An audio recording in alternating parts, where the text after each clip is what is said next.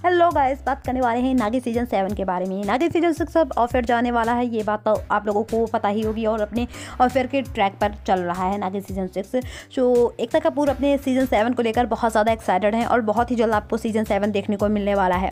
हालाँकि तुरंत के तुरंत ऑन एयर नहीं होगा थोड़ा सा टाइम लेने के बाद नागी सीज़न सेवन आपको ऑन एयर होते हुए देखने को मिल सकता है। उस शो की कास्टिंग लगभग फाइनल हो चुकी है।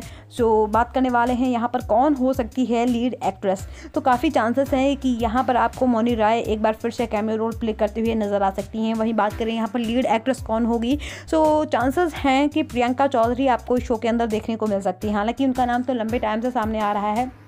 और एक तरीके से बिग बॉस की जो एक्ट्रेसेस रही हैं वो एकता कपूर के लिए उनका लकी चाम बोला जा सकता है क्योंकि तेजस्वी प्रकाश को आप लोगों ने देख ही लिया होगा, नागिन सीज़न सिक्स सबसे लॉन्ग रनिंग सीज़न रहा है अभी तक के जितने भी सीजन्स आए हैं नागिन के। सो ऐसे में काफ़ी चांसेस हैं कि एक बार फिर से बिग बॉस से ही निकली हुई एक्ट्रेस को लें एकता कपूर। सो देखने वाली बात होगी कि क्या कुछ होता है, क्या प्रियंका चौधरी एक बार फिर से नज़र आएँगी बहुत ही जल्दी एक नए शो में। और वो भी एकता कपूर के शो में, बालाजी टेल फ़िल्म के तहत कोई शो करना और वो भी नागिन में लीड एक्ट्रेस तो फिर कमाल हो जाएगा। उनके करियर का टर्निंग पॉइंट साबित होगा ये शो देखने वाली बात होगी कि आखिर यहाँ पर एकदा कपूर किससे कास्ट करती हैं।